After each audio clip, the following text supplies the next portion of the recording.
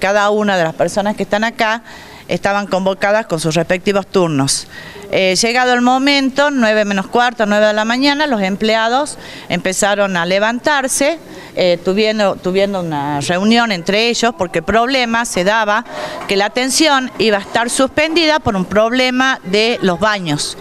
Este problema, según dicen ellos, viene desde hace cuatro años y no tienen solución.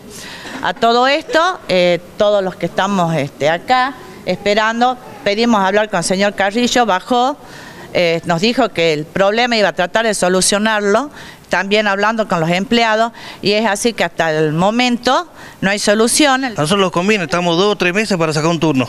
Venimos acá, ahora con el turno, te lo reprograman o que no hay problema que te van a atender.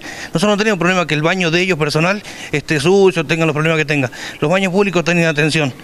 Porque sacamos turno hace dos meses y está para hoy día.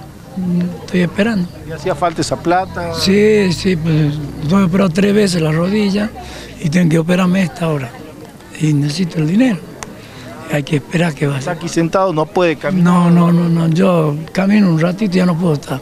¿Usted de acá de la ciudad? No, de Palpalá vengo. ¿Viene de Palpalá para hacer este trámite? Sí, señor, de Palpalá. Estamos en eso, esperemos. Esperemos que me atiendan.